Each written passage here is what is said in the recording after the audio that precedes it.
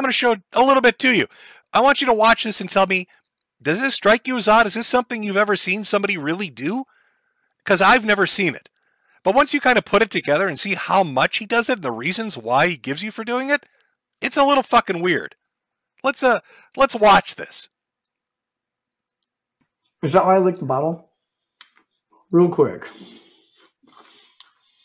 Like there's, I know there's a clip video of me like licking the bottle a million times in the dick stream. Myself yesterday. yesterday rage Every every time. time. Oh, well, uh, sorry. distrust everyone. But Denounce now everyone. it's Everyone, culture. everyone's a fag. I'd say no no one thank will. I No one ever will. They're all doing it for money, clout, or whatever.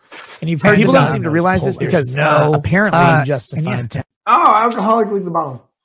I've been licking the bottle for six years, I think. Um, when you pour whiskey into a glass and you set it down, a little drip goes down the bottle. When you pay two hundred dollars for a bottle of whiskey and a drip goes down, you're like, that's like eighty six cents. Lick it. Okay. Let's go over that just just because it's insane. No. Nobody licks it because that's 86 cents. Remember, Nick Rekieta is somebody that had 100,000 people watching him on live stream. He makes a lot of money uh, from super chat donations, makes a lot of money from local support, has an inheritance, has a degree that gives him a good job. Nick is not the kind of man that's going to give a shit about 86 cents worth of liquor and try to be fiscally responsible with his booze. Sounds to me more like some kind of bullshit cope from somebody that's a little too much into drinking. That you just have to lick every fucking drop. And yes, I've seen a lot of people comment on his nose. I see it in the chat right now. Why is his nose so red?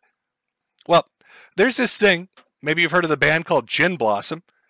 But there's this thing that drinkers get where because their nose goes into the glass when they're drinking so much, it dries it out over and over and over and over and over again and creates a skin condition where it gets bulbous and red and super inflamed. And Nick Rekieta looks like Rudolph the Red-Nosed Reindeer a majority of the time that he streams because he has a fucking gin blossom. Because he buries his face into the fucking glass. But there's more. Let's watch. Why do you lick the bottle? Well, if I set it down on my carpet and let the drips run down the bottle, then there will be liquor in my carpet. So if I just let drips go down the side of the bottle and I set them all down, I'm going to have a sticky, old fucking whiskey mess on the carpet all, the time. That's terrible. That's terrible. So first it was because it cost him money. And then it was because he doesn't want to make a mess.